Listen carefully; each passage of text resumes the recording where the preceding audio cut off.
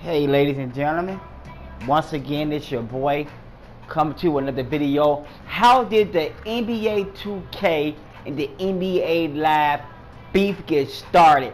Had there always been beef between these two franchises? And the question is, no. I mean, you have your little nitpicks on both games here and there, you know, but slowly throughout the years, 2K was catching up with NBA Live, and it came to a point where they both were equal. In the process of that, it still were other games out, but faded away and they stopped making them. And they only were making NBA Live and NBA 2K for you young cats, alright? You know, me and my guys will come over, whatever, and I'm telling you, we'll play both games. For certain modes, we felt this game was better, and we felt the same vice versa. We didn't even compare them. It's like, okay, we're going to play this real quick on this tournament, you know what I'm saying? All right. Then I play you in live next. All right, we've been playing some 2K for a while. Okay, let's switch up and play live. Or the same vice versa. Okay? That's how everything was.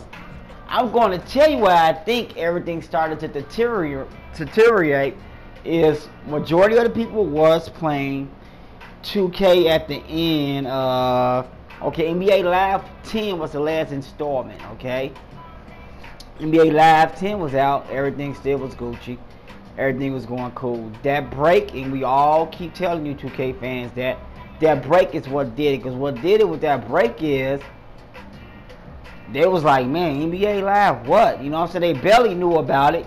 And when that break happened, it was like, NBA Live, what's that? You know, oh, what's coming on? You know, they were just confused. They they don't know no history about it. So they talk about it and they dog it out. Everyone else jump on the bandwagon, talk about it and dog it out. But they done in history, they would know that NBA Live was the top seller all the way until 2010. But that break was a big gamble. And I think it's going to pay off in the end when NBA Live 18 comes out. Once again, like I said all my videos, it's going to continue to be Nick picks here and Nick picks there. But that break is what did it. That's how the beat started. You got fanboys on NBA Live. You got fanboys on NBA 2K. But we admit our falls more than 2K. 2K would not admit they wrong. Just like a bunch of females. No matter how bad they do, no matter how bad the patches get, they will never admit it's wrong. So when NBA Live come out with new and creative things, or they bring the other things back, they do it back in 2K face. Because a lot of young cats don't know that all these molds and ideas 2K have that it came from NBA Live. So I think the beef is never going to stop. It's always going to be nitpicking here and there. But I think more people is going to give NBA Live a chance. So basically, that's how the beef kicked off.